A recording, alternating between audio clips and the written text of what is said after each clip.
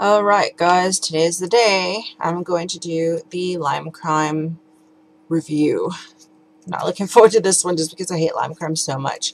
I did trial this color out to see what the color looked like on me, and I did notice that the staying power of this was a bit different than the staying power of my original one.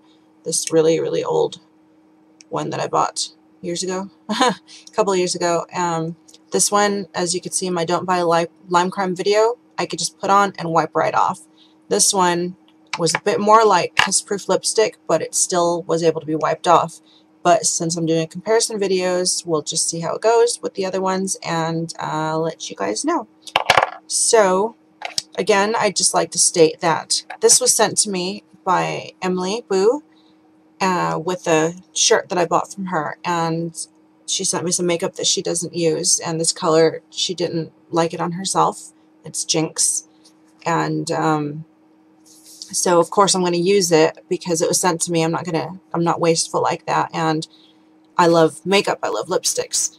However, I won't be buying Lime Crime anymore because I really disagree with the way that Doe runs her business and how she is as a person. I think she's highly unprofessional and she doesn't deserve your or my or anybody else's business, but that's neither here nor there. I don't endorse or support Lime Crime. This is just a video because I promised a video. So today I'm going to use this purple mulberry whatever uh, lip liner from Milani because it's a purple lipstick. This is actually a lip liner and I just usually use it um, on my eyes because it gives a really nice smudge effect. So I'll be using it for its proper usage today. I think it's the first time I think this is a bit darker than the actual lipstick, a bit more purple. The actual lipstick isn't quite a purple. It's it's like a brownie purple. I don't know. You'll see it in a second. Uh, I guess I'll zoom in like I did with the other one. Sorry about that.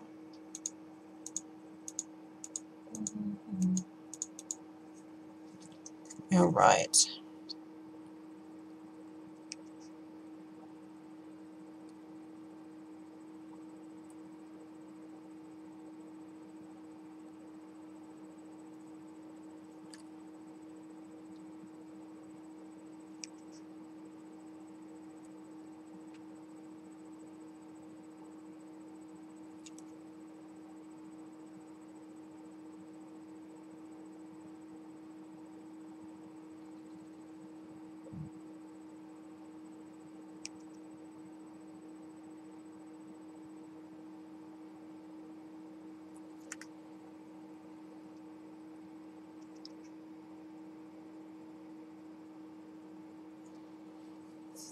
My lips aren't very straight because my jaw is crooked and my lips are just ugh.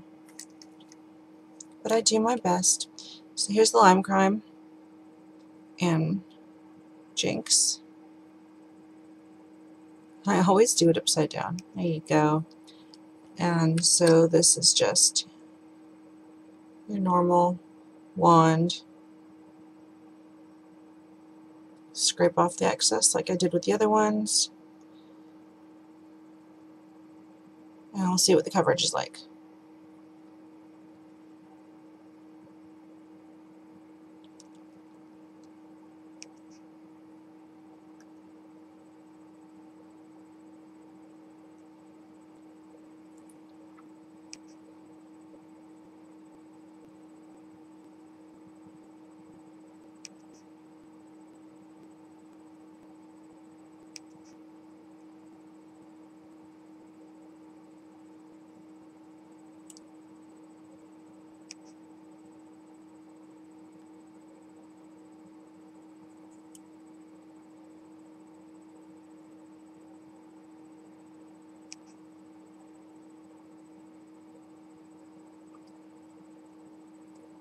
Yeah, the coverage on that was not so great. I had to go over it a few times, rotate the wand to get the other side because it ran out of steam. On the plus side, it smells like chocolate. it looks like chocolate and it smells like chocolate. So, um, I can already feel it's not, it's not really dry. And look at that. So I'll zoom out again now.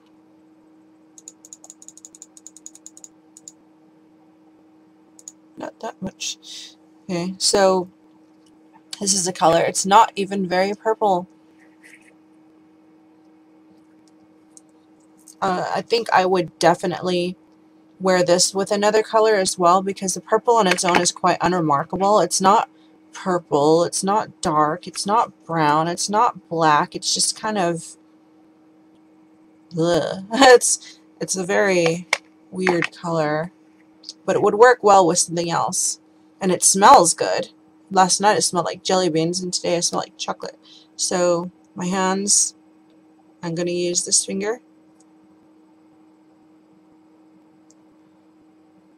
Still coming off not as much as before it's slowly drying. Uh, so it is still kind of patchy. You can even see it there. I think it would need another heavy wand coat to get it non-patchy. And my lips aren't picked today. My lips, I actually let them heal a bit. So it's not, it's not my lips doing it. And I already know how it is when you put another coat on. It takes the other coat off, but I'll I'll do that later. So I'll check back after I eat and everything, and we'll see how this goes.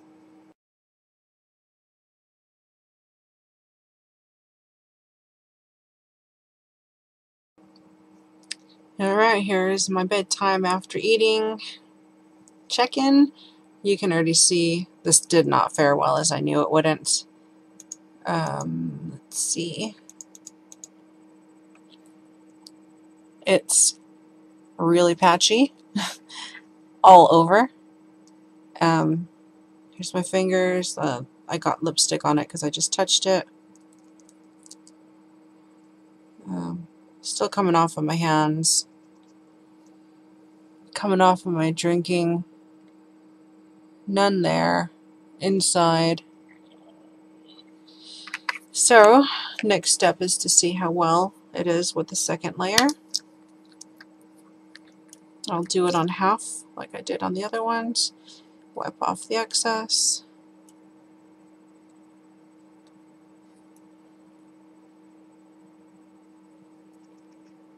I love the yummy chocolate smell though, and I don't even like chocolate.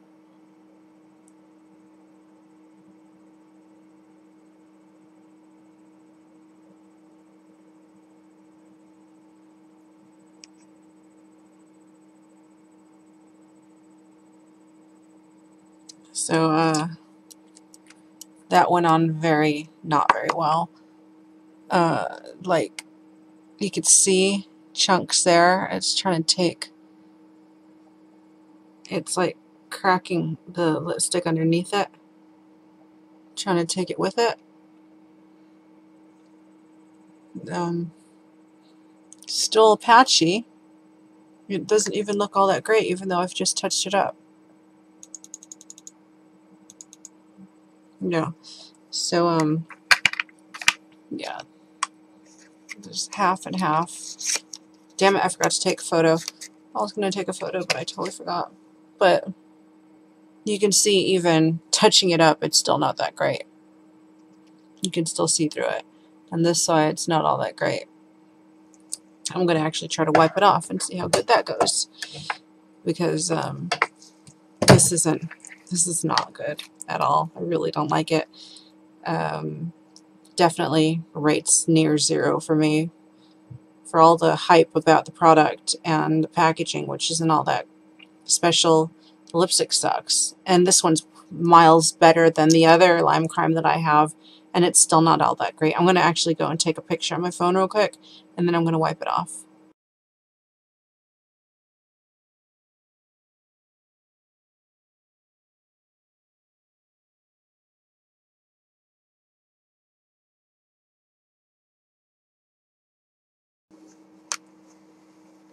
Alright, so I've taken a photo. Let me see if how easily the stuff comes off. The other one came off quite easily. I think this one will be a bit harder, but I think overall it'll still be quite easy to wipe off.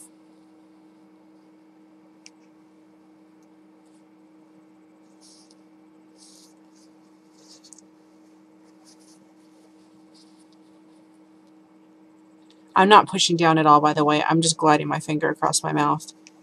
So, you know, yeah kiss proof. This double layer is a bit harder to come off. You can see where the double layer was.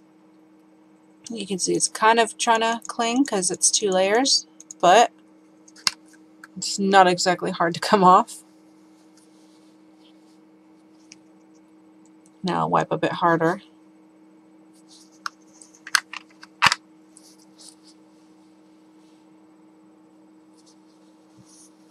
So, hmm, a little bit of a tough wipe and this kiss proof is gone. So yeah, normally when I wear Lime Crime, I put this over it. This is, I've shown this before. Um,